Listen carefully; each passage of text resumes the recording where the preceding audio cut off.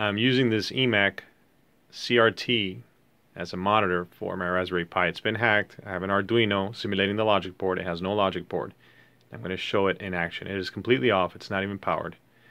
And I'm going to power the Arduino and the CRT right now with this power supply here just to get it to turn on. Okay, nice high frequency sound. Okay, so now I'm going to turn on my Raspberry Pi. Plug that guy in.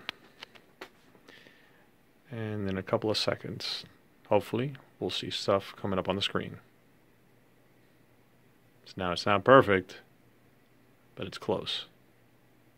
There we go.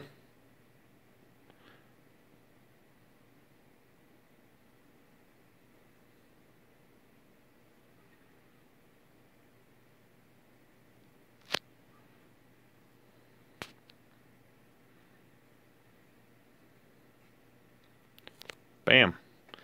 Still need some tweaking, but it basically works. Know.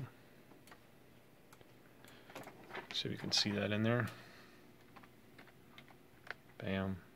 And do uname minus A. Maybe you could see that, I doubt it. Where is it? There it is. I can't see it. Well. And there it is.